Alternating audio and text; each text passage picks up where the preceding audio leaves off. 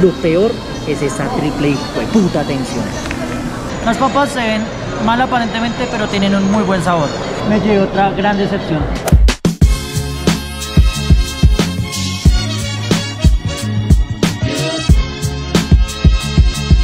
El día de hoy estaremos probando la hamburguesa más barata de la ciudad de Bogotá. ¿Dónde está mi hamburguesa? ¿Dónde está mi hamburguesa? ¿Dónde está mi hamburguesa? El propósito de este video es principalmente probar esta hamburguesa que dice que es la más barata en cuestión de la calidad-precio. Además de que siempre cuando nos ponemos a pensar en esta hamburguesa barata, pensamos es directamente en esas que venden en las calles, en los puestos ambulantes. Pero esta tiene esa pequeña especialidad de que está tanto en centros comerciales como en establecimientos locales. Bueno, ya llegué. Soy el turno número 90, pero prácticamente esta vez es un autoservicio porque batallé para que me entregaran este bendito papel. Yo llegué normalito. Le dije, hágame el favor, véndame este combo de dos. Normal. Y ahí dice, espere un momento. Empezó con una hamburguesa así, le quitaba los recibos, quitaba acá y seguía así. ¿Usted cree que eso es...? No, no, no, no. No me gusta. Güey, puta. Todo por una hamburguesita de 6 mil pesos. Pues que esperaba. No atendieran bonito. Pobre cosita fea. Llegaron las benditas hamburguesas. Lo bueno es que son 2 por 6 mil. Lo peor es esa triple hijo de puta tensión. Pero bueno, a lo que venimos. A tragar. Así es como se ve la hamburguesa más barata de Bogotá. Siendo sinceros, es una hamburguesa bastante sencilla donde solo tiene pues lo que lo normal. Un pedazo de carne, queso, vegetales y un pedazo de pan. Vamos a ver qué tal.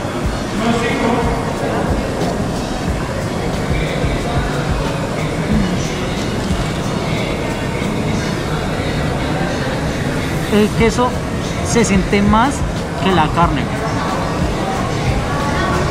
O sea, la carne casi no tiene sabor. La carne está supremamente condimentada. Casi no se le siente el sabor, o sea.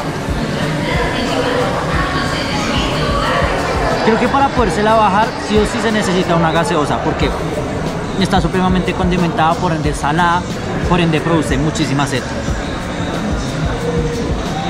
No esperaba más de una hamburguesa tan barata, la verdad, básicamente.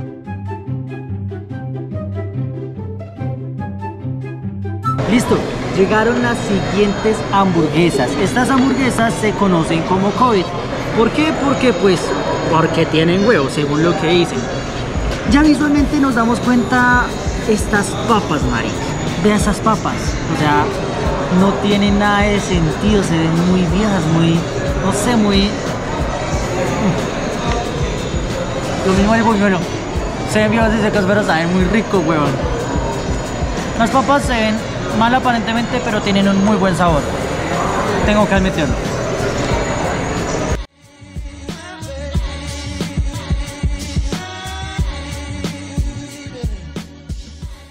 Esta hamburguesa, a diferencia de la otra, tiene un costo de 10.400 en cuestión lo que es el combo, con gaseosa y con las papas. Sin embargo, ya nos damos cuenta cómo es que se ve esta hamburguesa. Y es que ya se ve mucho más llamativa, incluso comestible, que la anterior. No sé si sea por las salsas, por la carne, porque tiene huevo o por el simple pan, o sea, se ve muy bonita. Vamos a pegarle un mordisco a ver qué tal.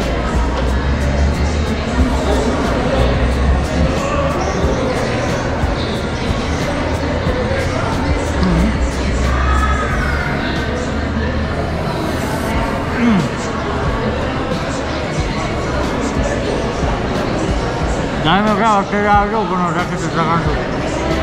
Me llevé otra gran decepción. ¡Por un demonio, lo que faltaba! Me llevé otra gran decepción. La carne no tiene sabor. Se siente el sabor del huevo nada más y la textura del huevo con el queso. De carne no se le siente el sabor.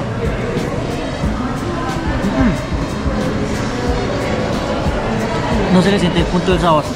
Ya sentí la textura de la carne, pero no sentí el sabor. Aparentemente se ve bastante jugosa, vean, o sea, la carne, el queso, el huevo, pero no tiene esa explosión de sabor donde se siente cada uno de, de los ingredientes, básicamente. Y pues el pan, pues bueno, nos damos cuenta que puede ser, no es pan artesanal, pero sí es probablemente ese pan que uno consigue en los centros comerciales. Y la carne, pues veamos. Mm. No es que ni siquiera comiéndome solo la carne le siento sabor a la carne. Es totalmente distinto, huevo. Totalmente distinto. Sin desmentir, estas papas están mucho más buenas que la propia hamburguesa. O sea, se ven viejas, pero severo sabor. Listo, ya acabamos de comer. Por un lado tenemos la hamburguesa de 2 por 6 mil pesos, que era la clásica. Es una hamburguesa bastante sencilla, solo tiene el pan, un pedazo de carne que no tenía sabor. También tenía sus vegetales y su queso, pero no era la mayor cosa. Y por el otro tenemos la segunda hamburguesa que se llama la COVID. Esta pues sus ingredientes principales eran básicamente el pan, la carne, la tocineta y el huevo. Real. Y pues su sabor pues tampoco es que fuera muy llamativo. Tenía más que todo la textura del huevo y el queso y un poco el de la carne, pero el sabor, un rotundo no. Que si les recomendaría, sí y no. Tal vez fue por mala suerte mía que vine a ese establecimiento y mi experiencia fue totalmente negativa, tanto en sabor, atención y demás.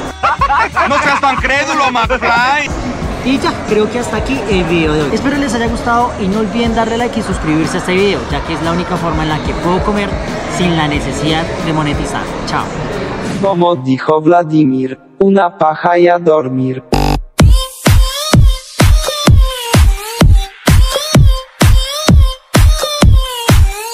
Vladimir,